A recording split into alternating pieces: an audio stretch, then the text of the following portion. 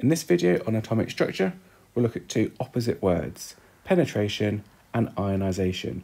So how alpha, beta and gamma can either penetrate or how they ionise things. When we say penetrate, we mean pass through objects, and ionise is when they make things gain or lose electrons and therefore become an ion or another charged particle. If something can easily penetrate through something, it's because it's got a low ionisation level. And conversely, if it can't penetrate, it's got a very high ionisation. As a reminder, we need to know what an alpha particle is, so it's two protons and two neutrons.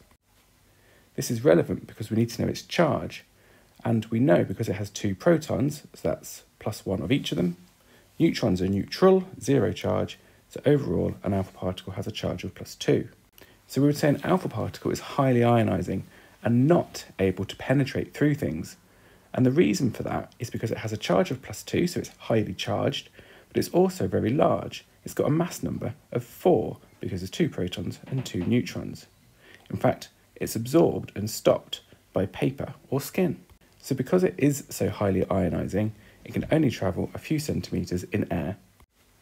A beta particle, if we remember, is just a high-speed electron that we measure that gets ejected from the nucleus. And from a previous video, it's when a neutron turns into a proton. A beta particle is just the electron, so its charge is negative 1. So if we compare that to that of an alpha particle that had a charge of plus 2, this one's only minus 1. So if we look at the size of the numbers, it's half the size if we ignore the positive and negative.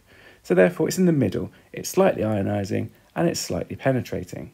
So because it's more penetrating, it can travel slightly further. In fact, it can travel about a metre in air. And it's absorbed or stopped by a few millimetres of aluminium, and we can use it to measure the thicknesses of different materials. Gamma, we said previously, is a high energy electromagnetic ray that's come from the nucleus. So because it's a ray, it has no charge. It's also massless, so therefore it's highly penetrating. It can pass through absolutely anything, well, pretty much anything, and therefore it's not ionising. So it gets stopped by a few centimetres of lead or a few metres of concrete. Through air, it can travel a few kilometres.